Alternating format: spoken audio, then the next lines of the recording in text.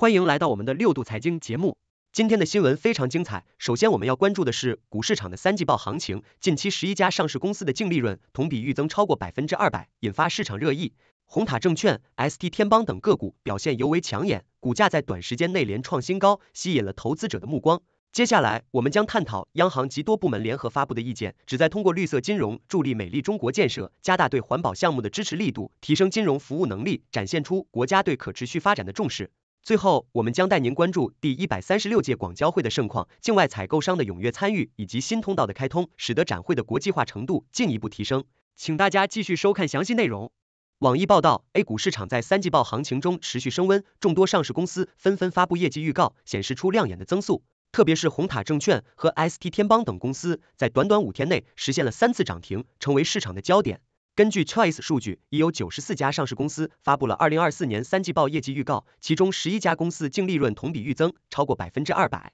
国航远洋以百分之一千零七十二的增速领跑，半导体行业的晶河集成和维尔股份也表现出色，分别实现百分之七百四十四和百分之五百一十五的净利增长。随着行业景气度回升，晶河集成的产能满载，维尔股份则因高端智能手机市场的需求复苏而大幅增长。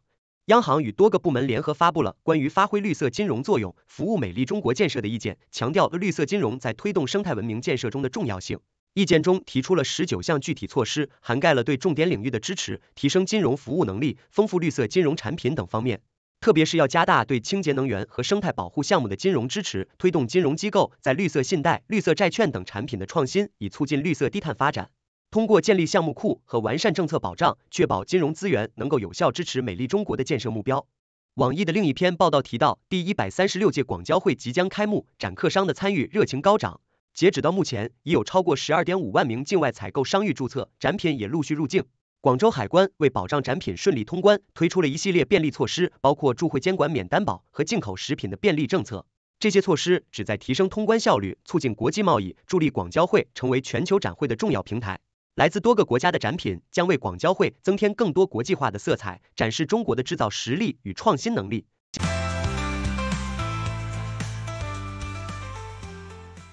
央视三幺五曝光半年后，百合家园在线，诱导消费，退款难乱象。网易报道指出，这家知名婚恋平台的退款流程复杂，且虚假宣传层出不穷，消费者在购买高价婚恋服务后，往往无法获得承诺的结果。郑晨化名在平台上花费一千九百九十九元的购买人工相亲牵线六个月服务，却被推销高达两万元的结婚宝，并在短短几个月内被引导支付超过十三万元的额外费用。更令人失望的是，退款请求在多次尝试后仍未得到解决，显示出平台在处理消费者权益方面的无能和不负责任。与此同时，网易还提到另一名用户林佳（化名）在百合家园平台上遭遇了自动续费的困扰。尽管他的账号早已注销，平台却依然持续扣费，导致他在二零一六年至二零二四年间累计被扣款高达五千元，且至今仍有近一千元未能追回。这一系列事件揭示了百合家园在自动扣费和用户管理上的严重漏洞，消费者在不知情的情况下蒙受了巨额经济损失，令人对该平台的信任度大打折扣。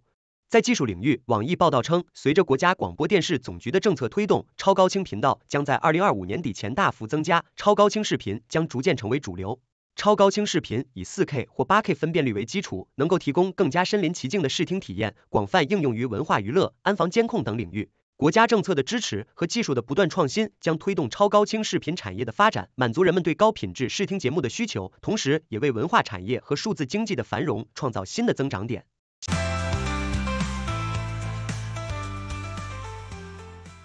网易社保基金自两千年成立以来，年均投资收益率高达百分之七点三六，累计投资收益达一万六千八百二十五点七六亿元，成为投资界的 YYDS。二零二三年，该基金实现投资收益二百五十点一亿元，投资收益率为百分之零点九六。社保基金的投资决策基于长期价值投资理念，持股行为积极引导市场关注价值投资，促进资本市场健康发展。到二零二三年末，社保基金的资产总额已达到三万零一百四十五点六亿元，境外投资也有所增加，显示出其在优化投资结构方面的努力。网易蒙牛第四任总裁卢敏放于十月十日辞去所有职务，标志着公司高层的又一次变动。卢敏放曾提出的二零二零年营收市值双千亿元目标，至今未能实现，且蒙牛与伊利的差距不断扩大。二零二三年蒙牛营收为九百八十六点二亿元，离千亿元目标相差甚远。业内人士指出，蒙牛的奶粉业务短板明显，而近年来的多项投资并购也未能带来预期的业绩增长。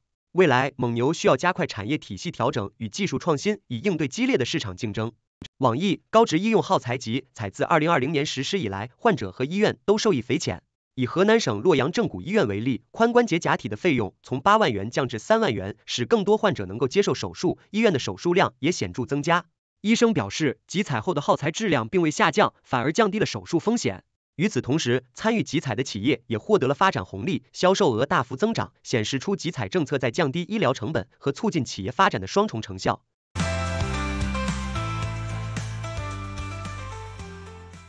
网易、常山北明的股价在近期经历了显著的上涨，尽管其业绩表现却显得相当低迷。股价突破十七元，市值达到二百八十二点八亿元，主要受市场回暖和华为概念标签的影响。然而，该公司在过去八年中扣非净利润持续亏损，二零二四年上半年营收和净利润双双下降，软件和纺织双主业的表现不佳，尤其是纺织业务大幅拖累了整体业绩。尽管常山北明计划通过玻璃纺织业务并引入新能源及智慧城市相关资产来改善业绩，但其商誉减值风险和财务指标的恶化仍然令人担忧。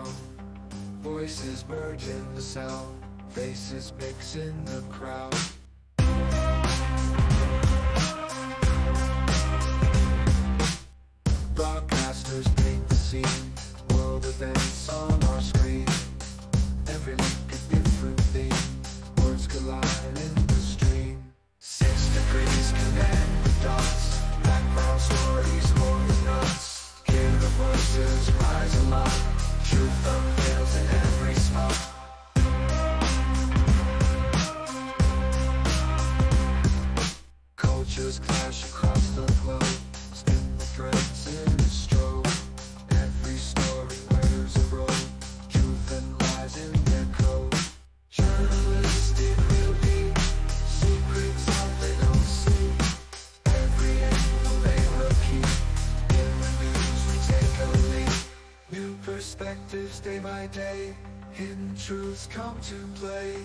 In the background shades of grey Every story finds its way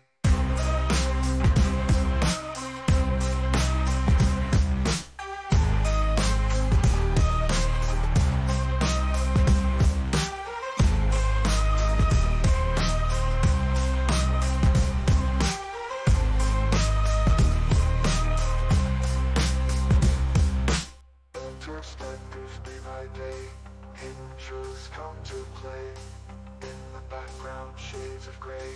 Every story finds its way.